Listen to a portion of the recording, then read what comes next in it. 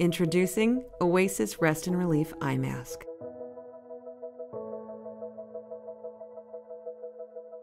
Oasis Rest and Relief can be used hot or cold. To use hot compress, set microwave power to high and heat for 20 seconds. Place eye mask over closed eyes. Optionally, secure adjustable strap. Wear to 3 to 5 minutes or as directed by a physician. Do not apply for more than 20 minutes at a time.